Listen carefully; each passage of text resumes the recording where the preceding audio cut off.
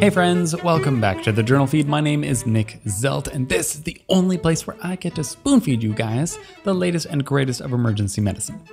Now, if you are hearing this right now, then you are not currently a Journal Feed subscriber and so will not be receiving the full Journal Feed podcast, only getting a portion of the past week's articles. If you'd like to get the whole podcast as well as access to the blog, then you'll have to become a member. All the details for that are at journalfeed.org. And remember, we don't ever want money to be a barrier to better patient care. So if you're having any trouble affording a subscription, just get in touch. We'll help you out.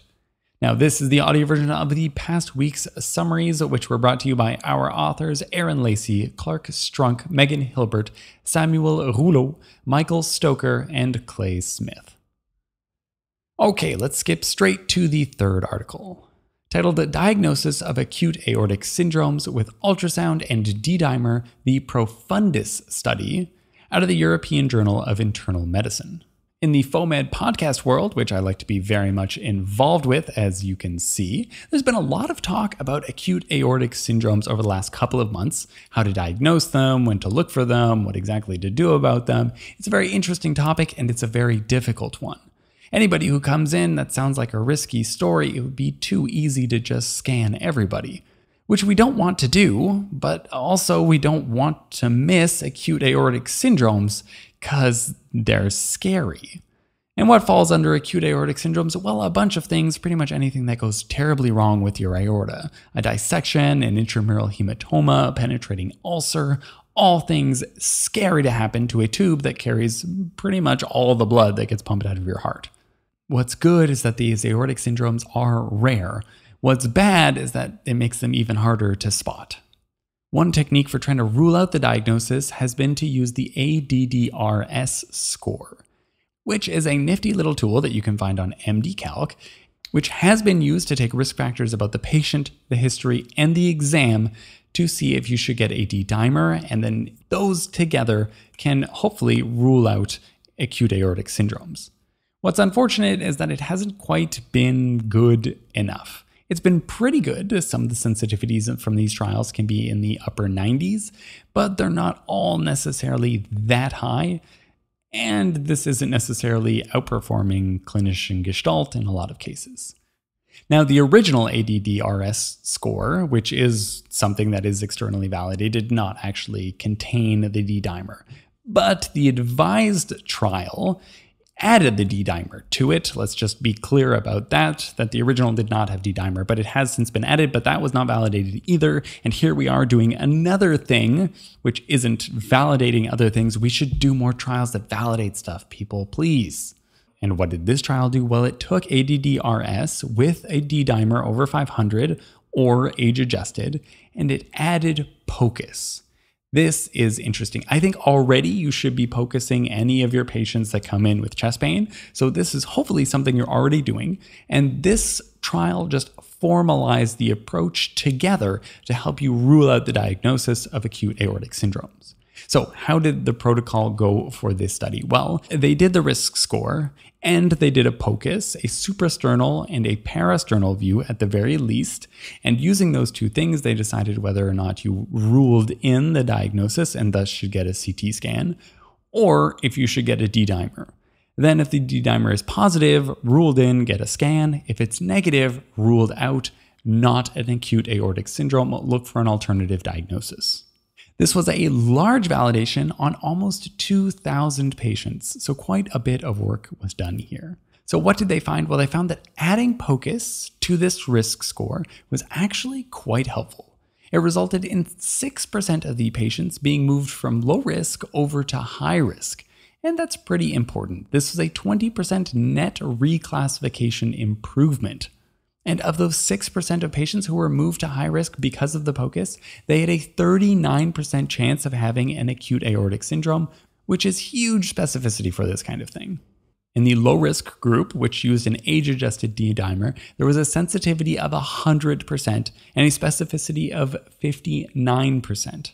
In the low risk group, to rule out the diagnosis, there was a 100% sensitivity using an age adjusted D dimer and a 59% specificity. So, adding POCUS to the ADD risk score seemed to be quite an improvement, something I like to see, especially since I like to POCUS. What I tried to figure out is exactly which POCUS views were actually the most useful. I don't do that much suprasternal POCUS. I do the parasternal long all the time, but suprasternal, not that much. Mostly because I find it's awkward and kind of difficult to do, and it's hard to really see the aorta very well in a lot of patients. So I dug into the supplementals and I tried to see exactly which POCUS view people were actually finding the relevant findings on, and unfortunately, the authors did not report that. They did show me, though, that they were doing a lot of other POCUS views. Namely, they were doing a lot of abdominal aorta scans, they were doing a lot of five or six chamber apical views, and a lot of subcostal four chamber views, as well as some echoing of the neck or leg vessels. So until this is clarified, I think that you should be looking at more than just the parasternal long and the suprasternal, because the majority of other patients also had other places POCUSed. And what are you looking for on POCUS? Well, you're looking for either direct signs of aortic pathology, that's an intimal flap, thickening of the wall, or outpouching, or you can also look for indirect signs, so a thoracic aortic dilatation, pericardial effusion, moderate aortic valve regurgitation. And these findings can be incorporated into this lovely protocol, which seemed to be very useful and is now derived from a well done study. In a spoonful, adding POCUS to the ADD risk score might actually be worth your while. Now, all we need is validation. And then we skip to the fifth article, titled Evaluation of Basic Life Support Interventions for Foreign Body Airway Obstructions, a population based cohort study out of the journal Resuscitation. All right, guys, this trial actually blew my mind and will change my practice. I cannot believe I did not already know this. This was an observational cohort study which compared the efficacy of basic life support measures for foreign body airway obstructions. The three things they compared were abdominal thrusts, that's the Heimlich maneuver, back blows, and chest compressions. They had 709 patients of all ages who required these interventions. All this data was from a pre hospital system in Alberta, Canada. The primary outcome was relief of the airway obstruction, and the secondary outcome was survival to discharge and intervention associated injuries. The largest group of patients were elderly patients over the age of 65. That was about a third of the total cohort. And then the next largest group were patients one year old or less, which was about another 200 patients. In all comers across all the groups, the odds of airway obstruction relief was better with back blows compared to abdominal thrusts or chest compressions.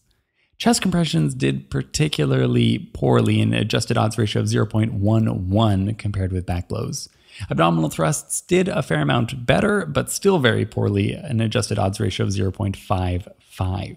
That's barely better than half. But that's just for relief of the obstruction. If you actually look at survival to discharge, then there was no significant difference between back blows and abdominal thrusts, the Heimlich maneuver. If you compare that to chest compressions, then things are not going well. Also, most of the injuries were associated with chest compressions, and none were associated with back blows. Another thing that's very important to keep in mind was that if the first intervention was performed by someone from the ambulance service, there was a significant higher risk of mortality 23% versus 13%, which means that bystanders should indeed definitely try to help relieve an airway obstruction caused by foreign bodies. And now we seem to show from this trial that back blows are the easiest, not just the easiest, the best thing to do. They are also the easiest. I think that if back blows is the go to recommendation for people, that people are going to be more likely to deliver this intervention. Not everybody's necessarily comfortable trying to do the Heimlich maneuver, and not everybody's anatomy is terribly amenable to doing the Heimlich maneuver. Sorry, abdominal thrusts. However, you can hit anybody on the back. What they recommend is that you kind of lean the patient over and just hit them right between the shoulder blades with the palm of your hand and just go for it. This has always been the recommendation for children under one year old, as far as I know for a long time as I've known it. However, I've always thought that abdominal thrusts were the go to in adults, which is actually the recommendation from the American Heart Association. But as our author Clay points out, this is not the recommendation from a whole host of other people. Apparently, I've not been reading their basic life support recommendations. That's right, the American Red Cross, British Red Cross, ILCOR, and the ERC all recommend back blows as the first thing for any conscious choking victim. If the patient falls unconscious, of course, this is a different story entirely. I'm certified to teach advanced cardiac life support, but not basic life support. So I don't do much teaching of basic life support. However, it will now become my go to maneuver to relieve a foreign body airway obstruction with back blows, and it will also be the maneuver that I recommend to my patients and my family. So, in a spoonful, back blows outperformed abdominal thrusts and chest compressions in the successful clearance of out of hospital foreign body airway obstructions. Back blows are now my go to, not just in children less than one year old, but in big children as well. All right, that's all the articles we have from this week. Let's do a quick wrap up of everything we covered. Then we looked at the third article, which added POCUS and an age adjusted D dimer to the aortic dissection detection risk score. And this seems to be the best iteration of this as an algorithm for ruling out acute aortic syndromes that I've seen so far.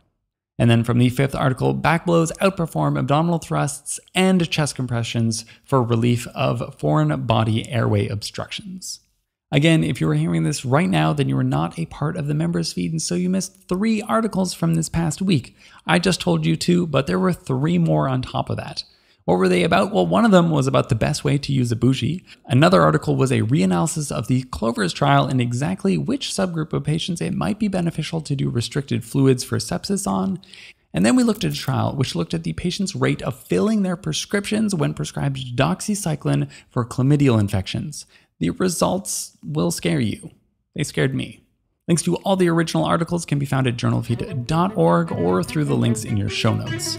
Our goal here is for you to read less, learn more, and save lives, one spoonful at a time. Thank you.